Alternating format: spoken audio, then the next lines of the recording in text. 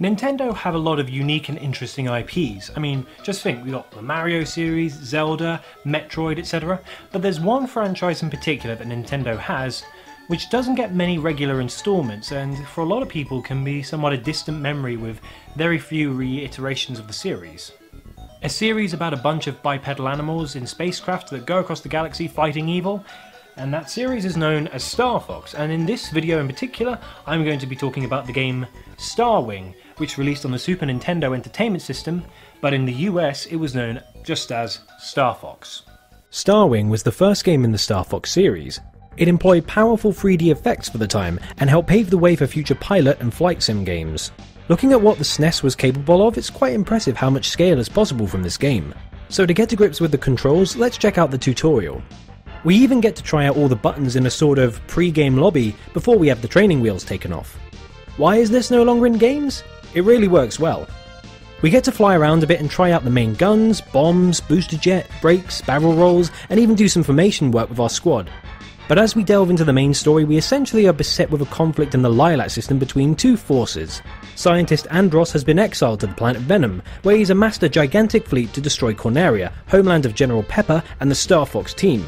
Pepper sends Fox McCloud to take out Andross on planet Venom.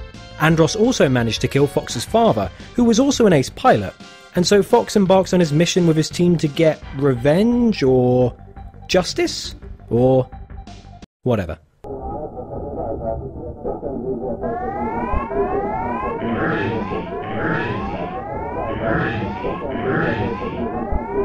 prepare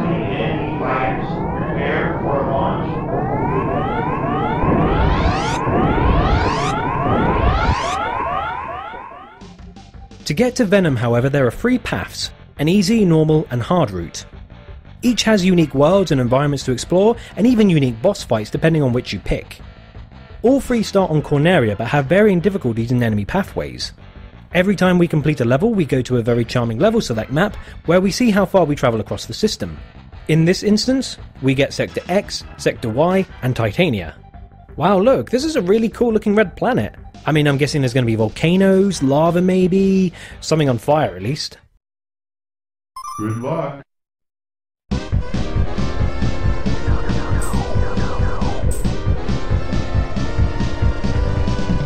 Hang on. This is the planet that we saw on the map, the big red one that looked like it was engulfed in fire. One of these things is not like the others. One of these things doesn't belong. Can you tell which thing is not like the other by the time I finish this song?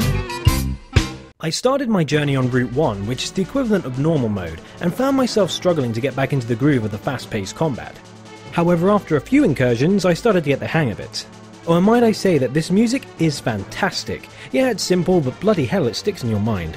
Even the menu music has a sort of military vibe and then goes into a strange, spacey, almost spooky sounding quality.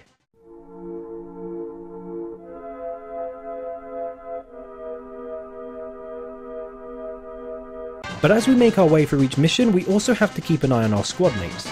Peppy the Hare, Slippy the Frog, and Falco the Falcon can all come under fire from enemy units and take damage. If we rescue them by taking out the threat, they'll lend a hand taking care of some of the enemies by our side, even if they incessantly moan about us nearly hitting them with our gunfire. However, for the most part, everyone's happy when you help them from a nasty dogfight. Except for Falco. Help! Throw my six! For God's sake, I've got him. It's fine. He can't do anything right. Shadow Giraffe, could you please stop getting out of formation? It's really annoying and we can't get anything done properly. I didn't even need your help. I was fine. My codename's stupid anyway. This is like the seventh time today. He's gone too far ahead. I can't deal with this. Like, how many times am I supposed to save his ass? Look, if you're going to be a problem, it's a good thing I have this self-destruct button and then at least we can get rid of you for once. Do you just put a self-destruct button in a ship?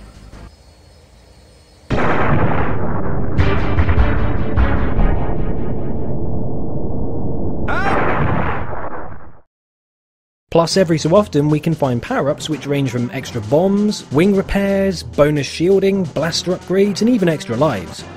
And considering the scope of the game, there are a lot of cool environments. Asteroid belts, icy planets, ship armadas, and Venom itself is a very dreary looking place. Even though this game is on rails, it captures being able to pilot a spacefaring fighter craft really well. Especially when you're going through areas like this.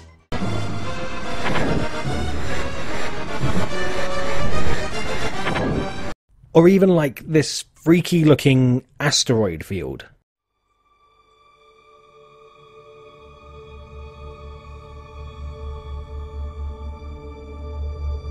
Oh my god. What is that? I think I found out where the moon from Majora's Mask came from. And might I say the boss fights in this game are crazy. Most of them are extremely harsh, but definitely unique, especially given the limited amount of detail and processing given to the system. I mean, we got 16 here to deal with, ranging from tank-like behemoths, Beyblades, lots of core bosses, and like a bird thing with a giant neck and two heads and it's a massive pain to kill. Plus, there's even a couple of bonus levels if you do certain requirements in the asteroid levels. For example, in the easy route, if you blow up all three spinning asteroid links at point blank range, you'll see a smiling face asteroid which you need to shoot to open a portal to a black hole. When you finish the level, you even exit on the normal route on a Route 2. Plus, if you play the third route and destroy an asteroid on the right side, you'll make it lay an egg. And it'll turn into a bird? And when you shoot it in the eyes, it'll swallow you and, uh, lead you to a slot machine boss? Where you have to keep shooting the one armed bandit until it shows 777? And when you quote unquote win, you get locked into an unending minigame where you spell the end. Forever. But at the end of the final part of the first two routes, we get to fight Andross, who's a big face dude. And he's a monkey who lives inside a cube of his own face?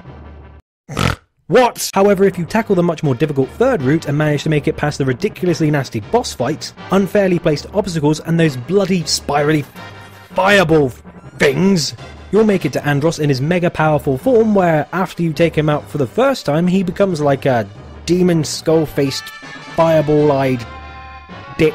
And he even goads you before the battle about how he killed your dad on this very same route. But if you do manage to beat him, you're treated to a cutscene of Fox and his squad regrouping and heading back to Corneria.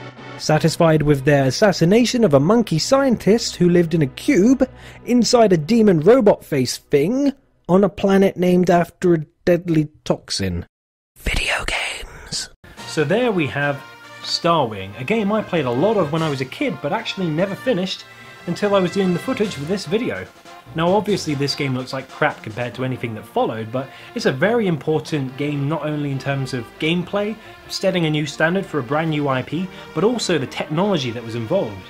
And considering the vast love that the Nintendo fans and people like me have for this series, I still don't understand why Nintendo don't just make a new Star Fox game about going through the Lylat system and spacefaring and having all that stuff done, rather than, you know, that game about dinosaurs and that game, where you play the game like this. And even though Lylat Wars or Star Fox 64 for you guys in America became a more successful triumphant sequel, I still think a lot of people need to remember this game because of what it started off, the getting the ball rolling kind of thing.